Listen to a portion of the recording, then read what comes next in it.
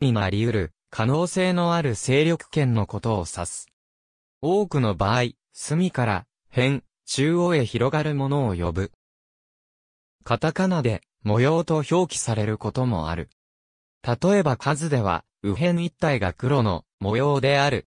黒模様は A などへの侵入、B などへの消しの余地があって、完全な地ではなくこの先の展開によっては目減りすることもあり得るが、一方で C などに打てば、さらにスケールを拡大し、より大きな利得になり得る。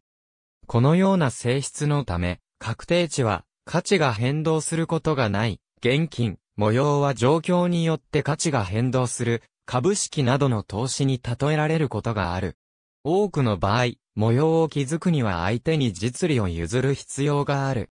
騎士の寄付は、先に実利を取りに行くタイプと、相手に地を与えて、模様を張るタイプに大別することができる。模様を張るためには、隅の着点を星や高めなどくらいの高い位置に打つことが多い。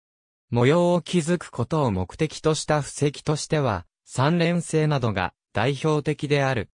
模様は確定値ではないため、相手から打ち込みを受けて荒らされる可能性を残している。この侵入してきた相手の石を攻めて、利得を図るのも、模様を張る目的の一つである。また、ほぼ確定値に近いような固まった模様を地模様と呼ぶことがある。スケールの大きな模様を大模様と呼ぶことがある。明確な基準はないが、盤面全体にわたるようなサイズのものを指す。